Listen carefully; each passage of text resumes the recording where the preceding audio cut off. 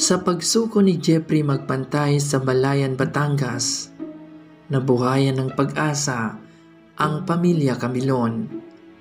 Ngunit sa programa ni Idol Rapi Tulpo, nakausap nila ang hepe ng balayan at ayon sa kanya, sumukod yung mano si Jeffrey magpantay para patunayang hindi ito nagtatago. Mas pinili di umanong sumuko doon dahil may kamag-anak siya doon para kung sakaling uh, madetain siya ay malapit lang na bibisita sa kanya. Agad pinuntahan ng pamilya Camilon ang Balayan Batangas at nakaharap nila si Jeffrey magpantay. Ngunit bigo nila itong uh, makausap dahil mas pinili nitong uh, manahimik gaya ng kanyang among si Alan Di Castro at tanging abogado nila ang humaharap.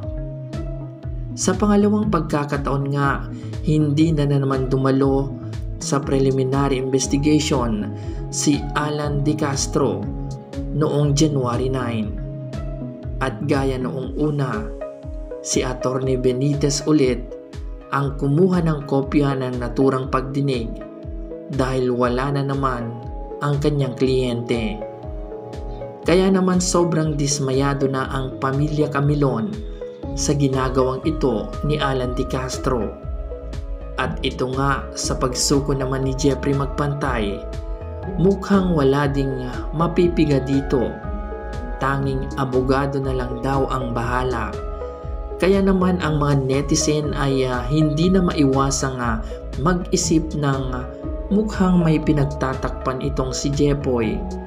Kaya mas piniling uh, manahimik na lang. Pati si Idol Rapi Tulpo ay uh, nakakahalata na kapag police major ang involved ay mukhang uh, nagpro-protektahan na lang sila. Kaya ang kawawa dito ay ang mga biktima halos walang kalaban-laban na sa kapangyarihan ng mga pulis na nasa mataas na pwesto. Gusto sana ni Idol Rapi na ifalay detector test na lang itong si Jeffrey magpantay kung may pagkakataong makausap nila para malaman kung nagsasabi nga ba ito ng totoo. Kaya lang mukhang malabo itong mangyari dahil ang abogado na lang daw ang sasagot ng lahat lahat ng katanungan nila. Matapos kunan ang sinumpang salaysay ni Jeffrey Magpantay, malaya din itong uh, makakauwi dahil wala naman di umano itong warrant of arrest.